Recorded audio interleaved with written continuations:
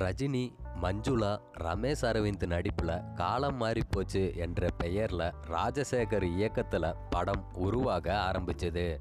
ஆனால் சில நிர்பந்தங்களால் அந்த கதை கைவிடப்பட்டு ஆயிரத்தி தொள்ளாயிரத்தி எண்பத்தி ஒன்பதில் விஷ்ணுவர்தன் நடிப்பில் வெளியான தேவா என்ற கன்னட படத்தை தர்மதுரை என்ற பெயரில் ரீமேக் பண்ணாங்க.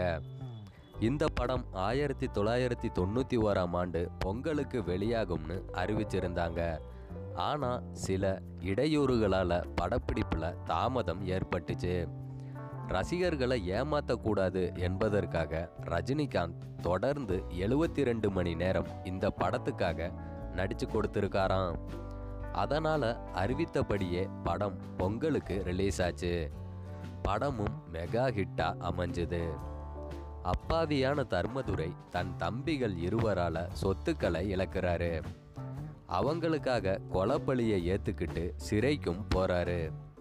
தம்பிகள் ரெண்டு பேரும் தன் தந்தை மற்றும் மகனை கொன்னவங்க அப்படின்னு தெரிஞ்சும் அவங்கள எதிரிக கிட்ட இருந்து காப்பாத்துறாரு.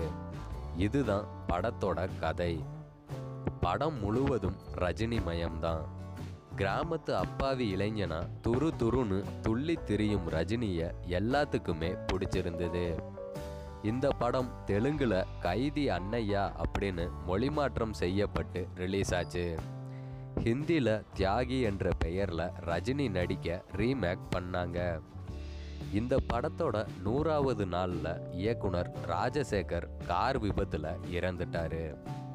இளையராஜா இசையில் ஆண் என்ன பெண் என்ன அண்ணன் என்ன தம்பி என்ன மாசி மாதம் ஆளான பொண்ணு சந்தைக்கு வந்த கிளி அப்படின்னு அனைத்து பாடல்களுமே அதிரி புத்திரி ஹிட் அடித்தது ரஜினியோட திரைப்பயணத்தில் தர்மதுரைக்கும் மிக முக்கியமான இடம் உண்டு.